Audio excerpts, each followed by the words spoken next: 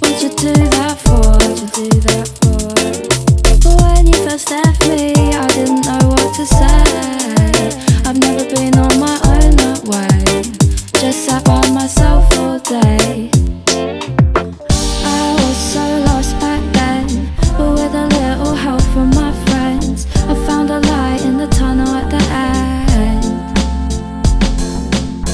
Now you're calling me up on the phone, so you can have a little wine and a mine. But it's only because you're feeling